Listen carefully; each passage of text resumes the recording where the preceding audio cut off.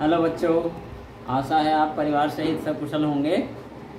आज जो है, एक प्रयास के अंतर्गत गणित में मैं व्रत से संबंधित कुछ सामान्य प्रश्न आपसे शेयर कर रहा हूँ। पहला प्रश्न है, व्रत किसे कहते हैं? तो इसका आंसर है, किसी एक निश्चित बिंदु से समान दूरी पर स्थित बिंदुओं का बिंदु पथ व्रत कहलाता है। जैसे ये है ये ये एक बिंदु है और इससे ये चारों तरफ़ जो छोटे छोटे बिंदुओं से बना ये व्रत, ये मार्ग है, ये रास्ता है, इस पूरे को व्रत कहते हैं। प्रश्न नंबर दो है, परिधि किसे कहते हैं? इसका आंसर है, व्रत की कुल लंबाई को व्रत की परिधि कहते हैं। जैसे ये है, ये व्रत था तो ये वाली जो है, ये लाइन ये परिधि कहलाती है। अगर मैं इसे यहाँ से काट कर इसको सीधा फैला दूँ तो जितनी इसकी कुल लंबाई है, या जैसे भी हम इस पर धागा रख कर नाप सकते हैं, कितनी है? ठीक है? तो ये क्या हुई इसकी? परिधि। प्रश्न नंबर तीन है, जीवा क्या होती है? और ये परिधि ज्ञात करने का सूत्र है टू पाई आर, यानी दो गुणा पाई गुणा त्रिज्या। ये आर त्रिज्या है। प्रश्न नंबर तीन है, जीवा क्या होती है?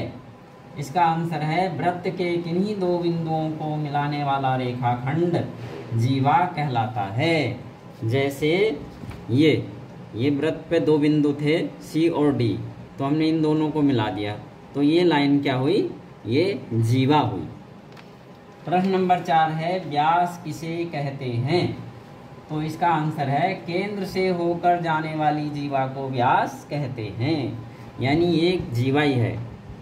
ठीक है? व्रत के दो बिंदुओं को मिला रही है। लेकिन बस शर्त यह है कि ये केंद्र था इसका, ओ, और ये इस केंद्र से होके जा रही है। ठीक है?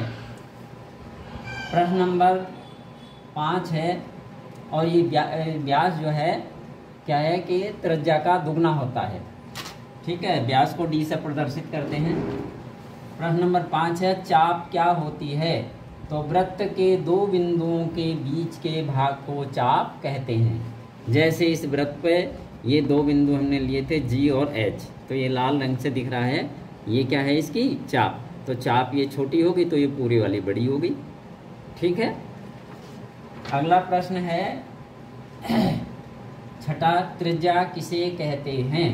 इसका आंसर है, केंद्र से वृत्त के किसी बिंदु तक की दूरी को त्रिज्या यानी त्रिज्या कहलाती है त्रिज्या कहते हैं। तो जैसे ये केंद्र था तो यहाँ से ये परिधि तक की दूरी क्या हुई? ये भी त्रिज्या यहाँ से यहाँ तक ये भी त्रिज्या ये भी त्रिज्या ये भी एक त्रिज्या है, ये भी एक त्रिज्या है। ठीक है, जितनी भी हम ला सकते हैं, वो सब क्या है? त्रिज्या हैं। क्वेश्चन नंबर सेवन है, वृत्तखंड किसे कहते हैं? तो इसका आंसर है, जीवा और चाप के बीच के क्षेत्र को वृत्तखंड कहते हैं। देखिए ये है। ये थी हमारी जीवा और ये व्रत था। तो इसके बीच का ये जो पूरा क्षेत्र है ये इसको व्रतखंड कहते हैं ये वाला। प्रश्न नंबर आठ है त्रिज्या खंड किसे कहते हैं? तो इसका आंसर है व्रत की चाप और दो त्रिज्याएँ जो चाप के सिरों को केंद्र पर मिला। प्रश्न नंबर आठ का आंसर है वृत्त की चाप और दो त्रिज्याएँ जो चाप के सिरों को केंद्र पर मिलाती हैं, के बीच के क्षेत्र को त्रिज्याखंड कहते हैं। जैसे ये है। ये चाप हुई यहाँ से यहाँ तक, और ये दो त्रिज्याएँ हैं। ठीक है यार, ये दोनों केंद्र ओ पे मिल रही हैं। तो ये जो पूरा क्षेत्र है ये ये त्रिज्याखंड हुआ। अगला प्रश्न है, प्रश्न नंबर नौ, पाई क्या है? तो परिधि और व्यास के अनुपात को पाई कहते हैं। यह एक नियतांक है, यानी व्रत कितना ही छोटा हो, बड़ा हो, परिधि और व्यास का जो अनुपात है, वो हमेशा एक ही संख्या आती है, बाईस बटे सात। तो उसको पाई कहते हैं। तो देखिए, ये है परिधि ये। अगर हम इसको ऊपर रखें और इस व्यास को बटे में करें तो ये जो अनुपात हुआ इस परिधि का और इस व्यास का, वही पाई है। प्रश्न नंबर दस है, व्रत के केंद्र से होकर जाने वाली कितनी रेखाएँ खींची जा सकती हैं? इसका आंसर है व्रत के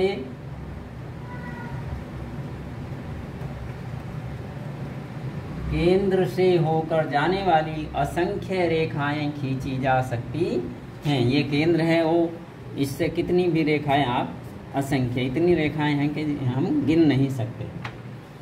अगला है ये इंग्लिश के चार शब्द हैं। लर्न इट कैंडल कैंडल माने मोमबत्ती। C A N D L E अगला है नंबर दो candy C A N D Y candy माने मिश्री। इसके दाने चीनी के दाने से काफ़ी मोटे होते हैं। प्रश्न, अगला है, तीसरा शब्द है capital C A P I T A L capital माने राजधानी। जैसे हमारे राज्य उत्तराखंड की राजधानी है देहरादून। चौथा शब्द है capture C A P T U R E capture माने पकड़ और इनाम। धन्यवाद, इन सबको अपनी कॉपी पर उतारेंगे और याद कर लेंगे और वीडियो पसंद आता है तो लाइक करेंगे और चैनल को सब्सक्राइब करेंगे।